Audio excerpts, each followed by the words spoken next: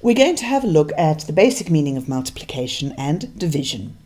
So, looking at this little picture over here, if I wanted to know how many dots there are in that picture, I could think of it as being I've got three, and then I add on another three, and then another three, and then another three.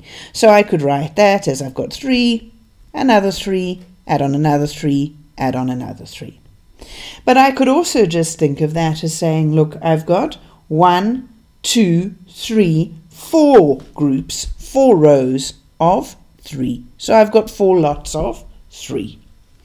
Now, if I just took this thing here and moved it onto its side, right, in other words, just rotated it, it would end up looking like this.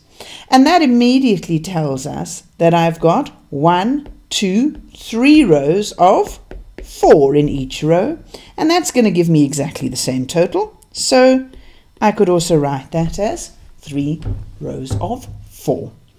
And obviously, it's not going to be any stretch for any of us to see that the answer in each of these cases is going to be 12. Now, just like addition and subtraction are related as opposite calculations of each other, so are multiplication and division. So, the minute that we know that 4 times 3 is equal to 12, we can immediately write down the related division facts.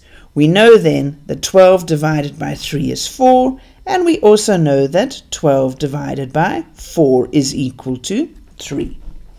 But let's put a little bit of a meaning to what does it mean when I'm asking you to calculate 12 divided by 3?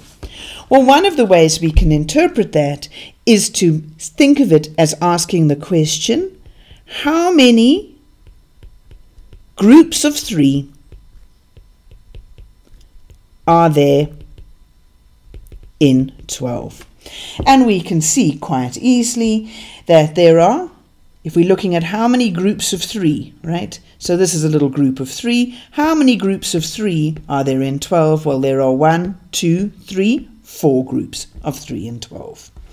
And then in a related way, we can obviously see this thing, the 12 divided by 4, as being saying how many groups of 4 are there in 12. And if we just look at it in this way, there's one, two, three groups of 4 in 12. And that's why 12 divided by 4 is 3.